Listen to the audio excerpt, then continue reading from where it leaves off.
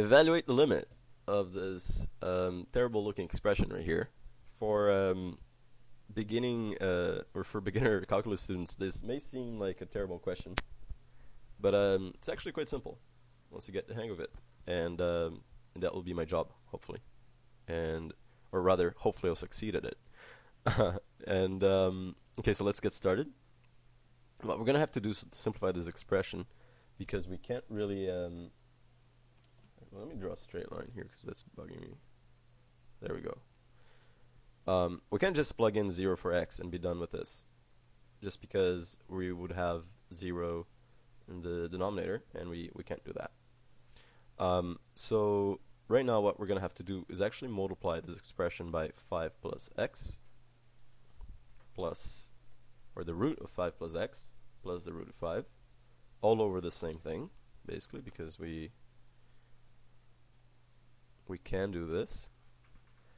And once, and now we can actually expand um, the top of the, the fraction here.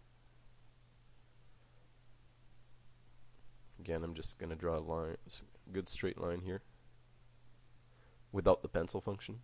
And so let's follow this. So root 5 plus x times root 5 plus x is just actually 5 plus x and the, the radical is gone.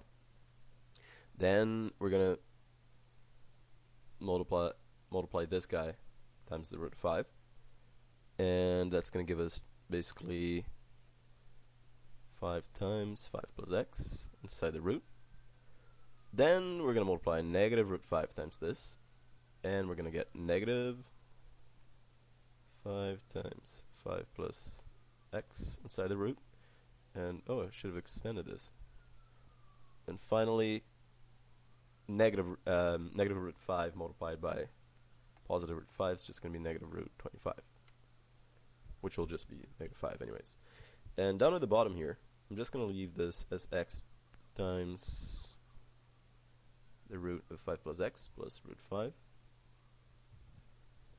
and um, great. So what will happen at the top here is that these guys are going to cancel out, which is actually the reason why I I chose to multiply the whole fraction by this anyways. And so the top is going to actually simplify to 5 plus x. Oops, I wrote 5x. 5 plus x minus 5. Because that's the root 25 is just 5. All over this stuff. Okay, so 5 minus 5 is 0. Good. So we only have x over x and everything over here. And at this point, we can actually just cancel out the x's because the 5's are gone. So we have 1 over just this whole thing over here. So now that we have that, so lim as x approaches 0 of 1 over. Root of 5 plus x actually. Plus root 5 now I can actually plug in 0 for x because that's not going to make the denominator equal to 0 so, and the limit's done. The limit's gone.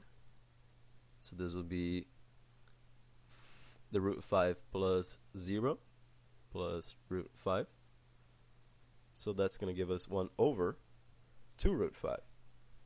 Because it's just root 5 plus root 5. Then we're done, but I want to rationalize this. So we don't have a radical on the bottom, or on the denominator.